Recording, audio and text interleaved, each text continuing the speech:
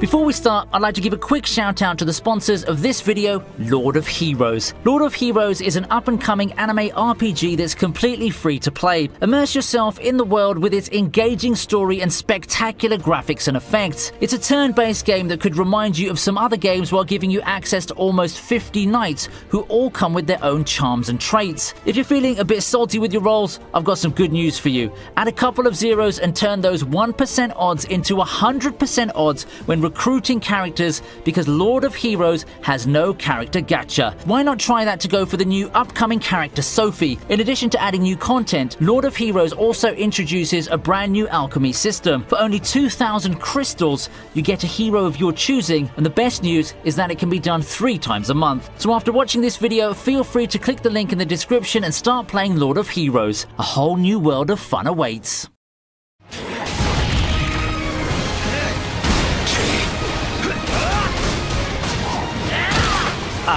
One of the most divisive and controversial topics in anime history the overpowered character. Personally, I like discussing them. They're not my favorite character types, but there's really this unique kind of enjoyment seeing some characters just play one man armies or blow an opponent out of the water with insane abilities that they seemingly keep whipping out of nowhere. Whether you love them or hate them, overpowered characters are here to stay. The year 2020 alone has seen a lot of them, either on the side of good, evil, and some in between. Join me as I take a look at some of the most overpowered characters that made their presence felt this year. We're not doing a countdown from 1 to 10 this time, for the most part, because how can we order these monsters according to power without causing a whole power level and who would win debate? So hit that subscribe button and let's get the ball rolling on this list.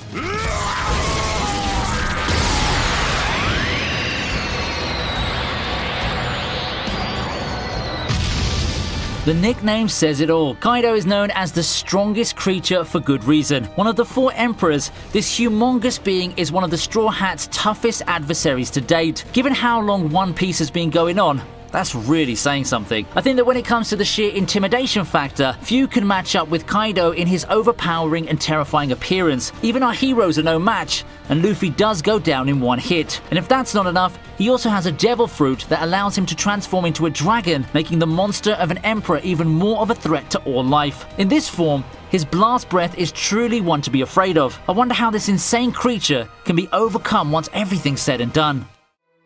Time to praise the sun because our next overpowered character of 2020 is Escanor from the Seven Deadly Sins.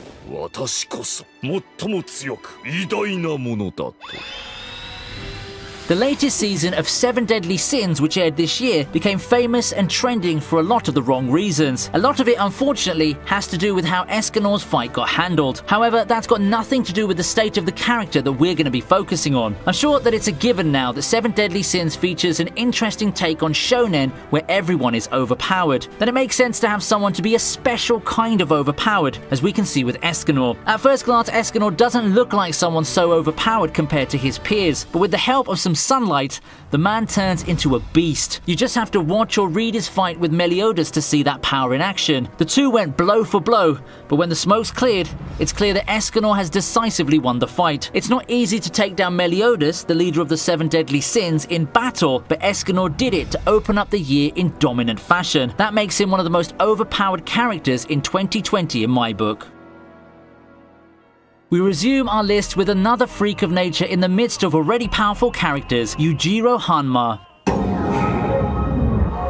We've seen how anything goes in the world of Baki, and like Escanor, you have to be a special kind of overpowered in order to stand out and make it to this list. Luckily for Yujiro, he's the undisputed strongest character in the series. No ifs, no buts. Yujiro is at the very top of the Baki tier list, and no one even comes close. Where else can you see someone who can defeat an entire army's worth of opponents by himself? He was just a teenager at that time, mind you, and fought his battles with his bare hands. He has an arsenal that consists of pretty much every martial art known to man karate, boxing, taekwondo, you name it. If it's not in his arsenal, he can just learn it and master it immediately. That's just how good he is. The scary part about Yujiro is that as insanely powerful as he is physically, he's also quite the cunning fighter. You'd expect a fighter that's all brawn and no brains looking at him, but come on, how do you think that brute strength alone would put him where he is right now?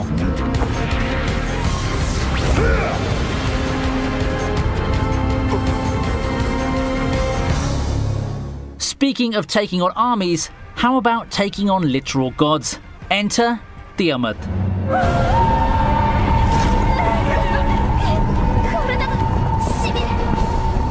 Cap off the thrilling ride that is Fate Grand Order Babylonia, our heroes take on literally the biggest enemy that threatens the continued existence of the human race as a whole. And they're not just taking on any god, they're taking on Tiamat, the mother of all life and that title is not just for show. Initially dispatched with one noble phantasm, Tiamat emerges in her true form as she begins her march towards Uruk, a march that serves more like a countdown to destruction as nothing, and I mean nothing, can stop her advancing. The good guys pretty much spend episodes throwing their best attacks at her to no avail, and even when she plunges down to where she's at her weakest, the hero still had a lot of trouble. In the anime, she only gets defeated with a combination of trait manipulating powers, having her power source hit, Talk no Jutsu, and Gilgamesh's Enuma Elish on her lone weak spot. What a raid boss it was, and the whole bunch of episodes for the boss fight was one of the most glorious sequences in the whole Babylonia series.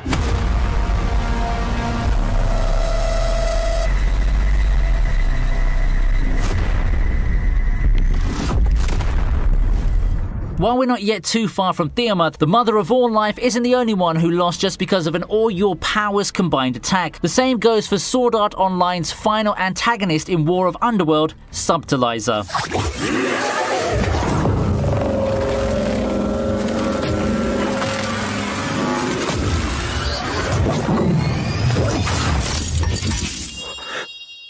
Our heroes get one case of fake relief when Gabriel, who logged in as Dark Lord Vector, got defeated by none other than Bercouli. Getting rid of a god account on the enemy side is such a big plus that it seems that the war has been won. Well, at first at least. The bad news for our protagonist is that Gabriel isn't truly dead and that he's already learned the truth of Underworld and how it works when he logs in with his actual gaming account, Subtilizer. In a world where willpower and imagination make everything possible, nothing can compare and stand up to the deranged machinations inside Gabriel's mind. Being able to will and imagine every attack only adds to his already insane skills in gaming and real life military experience. We already know that Kirito is overpowered, but even he needed to get bailed out multiple multiple times in the decisive clash, only winning with ally intervention and the literal powers of every being in Underworld combined in his attack. Like Tiamat, it's unlikely that Subtilizer loses cleanly in a straight up fight against anyone. Next member of our overpowered character cast maintains a sinister appearance. Fresh off a TV series debut, we have Rai.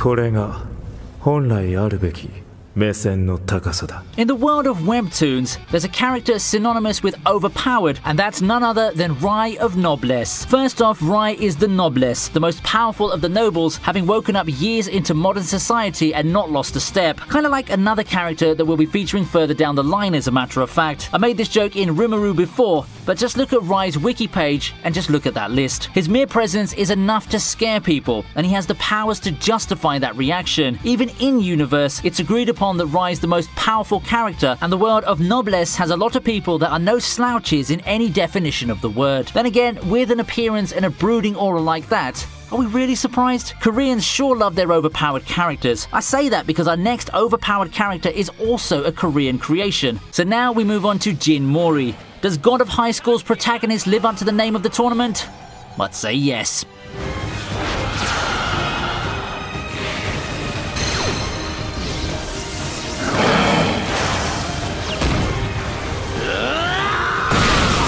God of High School has had a turbulent run, the most out of the summer 2020 shows, I'd say. No matter what your opinion on the adaptation is, though, I guess we can agree that for someone who got an ass kicking as his motivation to enter the tournament, our protagonist here has flipped the switch in an astounding manner. God of High School really is an anime that's all about fights, and it's those fights that allow the anime team to at least showcase what Jin is capable of. He may not be insane as Rai in terms of power, but consider the fact that Jin is just a 17 year old human. Right? Right? I won't be spoiling important plot points down the line, but without the benefit of hindsight, early Jin and his powers are a sight to behold. If you want to see more of him in action, please read the webtoon for God of High School. Trust me, the anime just doesn't show enough in the adapted episodes, and Jin's powers get even crazier the further you go into the webtoon.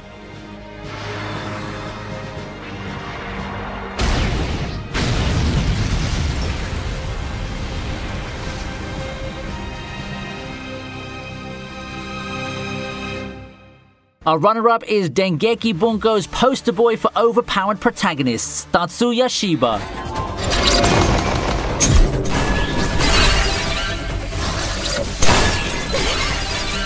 What can Tatsuya not do, really? In season 1, he brought himself back to life he did the same for his allies. He can decompose all kinds of magic. He can win a shootout against a sniper using his pistol. He can melt a runaway truck from inside a building. The list just goes on and on and on. No wonder he became a meme character. Well, now that we've got a second season of Irregular at Magic High School airing, expect to see more of the same. Having read the light novel, I'd say that his feats this season will be toned down a little bit, but make no mistake, he's still broken the protagonist that we all laughed at half a decade ago. Only a fool would underestimate the old god of high school. At least that's what I would have said had the next character not existed. Tatsuya would have easily topped the list, but his reign as the poster boy for overpowered memes gained a sudden new challenger this 2020. Look, for how overpowered he is, at least Tatsuya still does things within the bounds of logic in his world. 気づいたか心臓の鼓動だ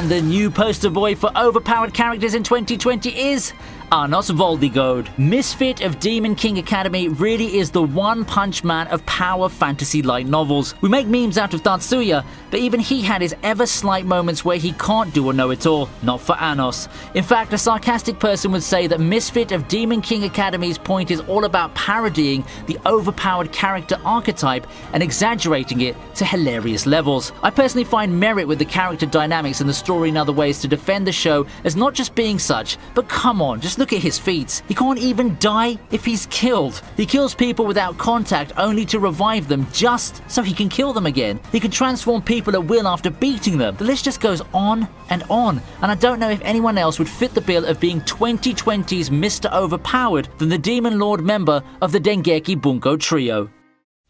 Oh look, we stopped at 9 characters. Do you have any character in mind to fill out the list so that we can reach 10 entries? Share it with the world in the comments section below and I'd love to see what you have in mind. I mean, I also had honourable mentions in mind. By the way, hope you had fun as we start the race to end 2020. It's been quite fun despite the year being a downer overall and I think that the anime industry had one great recovery. Before you leave, make sure to subscribe so that you can be the first in line for the next ViniiTube video. Don't forget to check out our sponsors of this video, Lord of Heroes. The link's in the description. I'll see you next time on ViniiTube.